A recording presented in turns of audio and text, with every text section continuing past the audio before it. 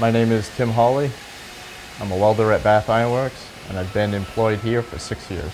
Typical day on the job is varying. Could be welding uh, UT seams, could be welding pipe hangers, it could be doing ventilation. You can also be involved in mechanized training, which we usually do that with uh, longer seams uh, for unit erection. Typically we'll weld 30 to up to 70 feet with a mechanized assisted machine. Any given day, uh, you could be asked to do any sorts of welding process that you're trained to do. Uh, we could do anything from stick welding uh, to MIG to sub-arc. Um, you need to be able to adapt to ever-changing situations. Um, it's never the same two days in a row. Um, you need to have a, a real good foundation, a really good skill set to be able to achieve the jobs that we're asked to do.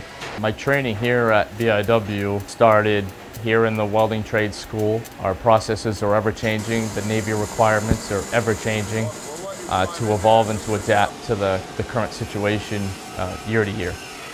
Personality traits in our particular field as a welder, um, you've got to have thick skin and you've got to be able to adapt um, to every situation. Um, you've got to be willing to, to learn and listen to the guys that have been doing this for a long time.